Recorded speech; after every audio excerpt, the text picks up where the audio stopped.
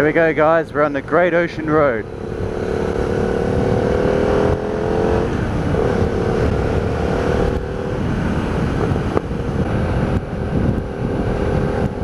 So this is the Great Ocean Road, um, probably one of the most beautiful bits of road in Victoria.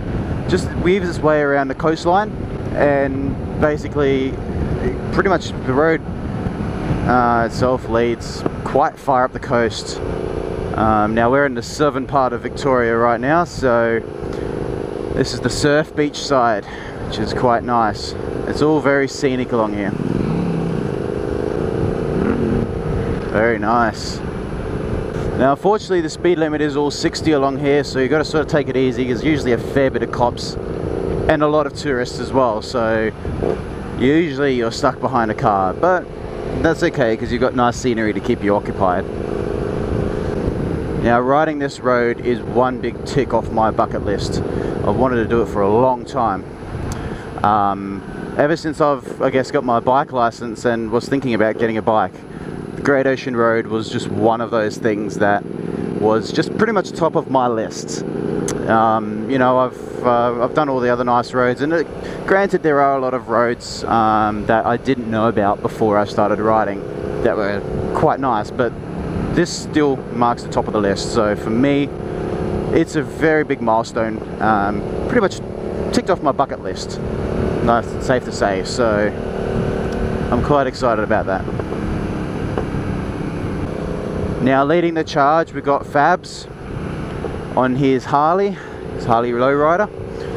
Uh, and then we've got MotoLad, and we got, I forgot his name, I'm really terrible. I'll insert his name here. Um, he's one of Fabs' friends, he doesn't vlog or anything. Um, behind me we've got Linden from Linden's Motorcycle Channel. Behind him, got our mate Nathan. And behind him we've got See It with Simon. So, a good group here. It'd be very nice to get knee down on some of these corners, but people just drive slow. The Problem is, if we keep going this slow, slow speed, I'm going to overheat my bike because she's got no uh, thermo fan at the moment. For some reason it's got a bug and I can't work out why it's not working. She's an air-cooled EFI Hyo at the moment. As you can tell I'm running the dual cameras. Um, as I mentioned on, um, I think it was on Twitter, on the twats, I um, picked that up from JB Hi-Fi, nice and cheap. So um, 1080p should give me some good other angles. Just a just another angle camera basically. I didn't want to go out and spend another couple hundred bucks on another drift or get a GoPro or anything like that. Um, uses the GoPro mounts, which is pretty pretty awesome. So lots of accessories out there for it, um, but it's got the nice cheap price tag and it's fairly reliable and pretty well built. Not too bad. I um, the the quality of it's actually quite nice. I'm impressed for you know 100 bucks or 80 bucks or whatever it was. Um, so I mean I'm impressed. It's good good quality.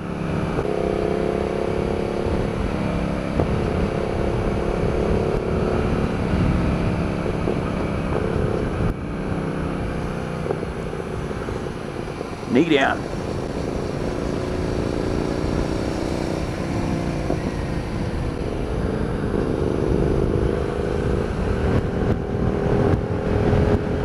So here we are guys, we're entering the area that was recently affected by large bushfires.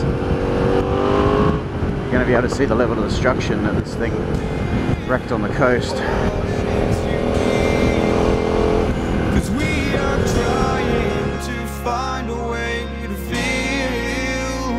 If I could sleep, I'd dream of what we'd be.